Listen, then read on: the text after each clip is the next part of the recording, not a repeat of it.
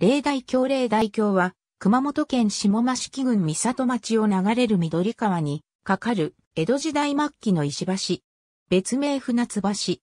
国指定6月15日の重要文化財。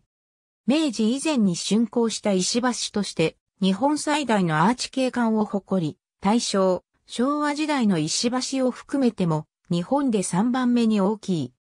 また、単一アーチ石橋として、熊本県で最も大きい。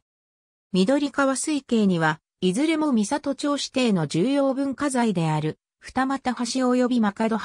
また大和町にかかる、通順橋、聖橋、金内橋など多くの石橋が存在しており、中でも霊大橋は、通順橋とともに、国の重要文化財に指定されている。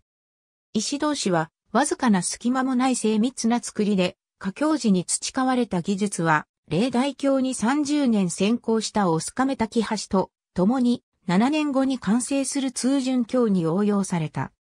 種山石膏の石橋は、庶民が資金を出し合って作ったため質素な橋が多いが、深い谷にかかっている。霊大橋は、土台を流水から守るための補強用の石垣に加え、欄干も用意された。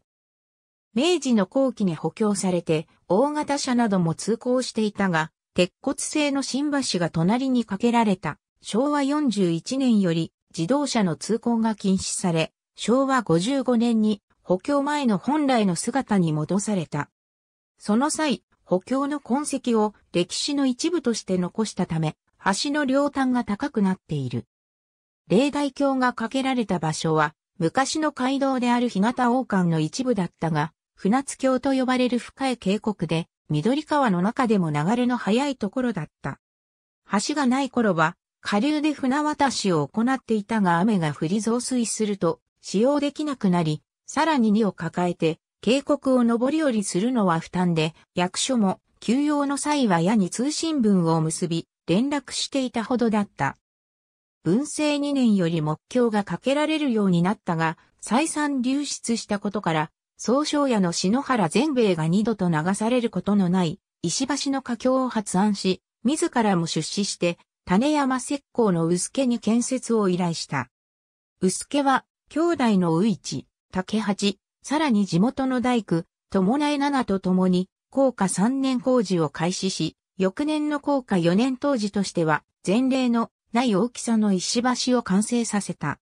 梅雨と台風が来る季節を避けて作られたためわずか6から7ヶ月の工事期間であり、参加した大工の数は72人、地元の農民の協力のもと延べ43,967人が工事に参加した。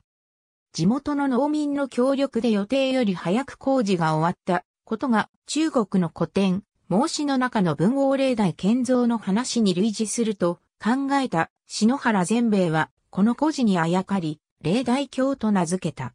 霊大とは物見台の意味である。しかしあまりの大工事に振動が重なり、薄家は以後二度と石橋を作らなくなったという。明治33年剣道の一部とされた際、石橋の上にさらに石垣を積んで、石橋上の道を平らにし、バスやトラックなど、大型車を含む車が通れるようにした。昭和27年に、県道の国道昇格に伴い国道橋となる。昭和41年5月、上流側に並行して、鉄骨製の心霊大橋が完成し、国道橋としての役目をこれに譲った石橋は、自動車の侵入が禁止され観光用の人道橋となった。その翌年に重要文化財の指定を受け、昭和55年より完成当時の姿に復元する工事が行われ現在に至る。ありがとうございます。